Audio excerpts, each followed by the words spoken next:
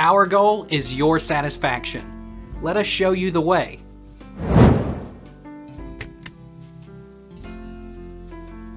Is smelling naphthalene balls harmful? The chemicals in mothballs are toxic to humans and pets. People are exposed to the chemicals in mothballs by inhaling the fumes. If you smell mothballs, you are being exposed to these chemicals. Extended exposure to mothballs can also cause liver and kidney damage.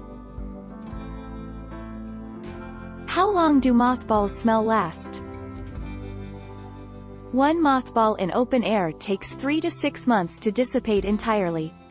If you place the mothball underneath clothing or otherwise not in open air, it will take up to 12 months to completely dissipate. The mothball smell stays in your home for months or years after dissipating.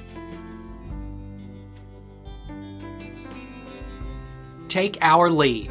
Let's help you make your mark.